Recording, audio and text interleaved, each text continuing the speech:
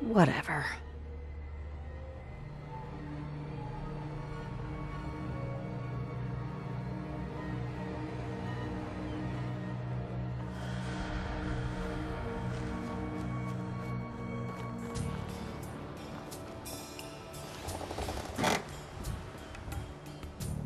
Hey, Everyone's here, General.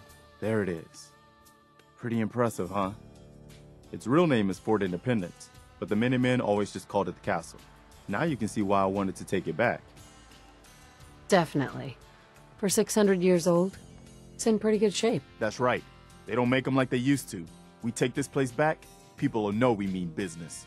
Our primary objective is to clear the courtyard. That's where we should see the most opposition. The wall on this side is the most exposed. But if we circle around south, we could also reach the main gate. What are we waiting for? Let's just get in there and shoot those lobsters. No, if we split up, we can flank them from both sides. It'll be like shooting fish in a barrel. Why not let them come to us? We set up a firing line on this side and you can draw them out. Well, General, what do you think? Let's not overcomplicate this. Just get in there and hit them with everything we've got. If you say so. All right, people. You heard the General. Let's move out. Try not to draw their attention until we're in position.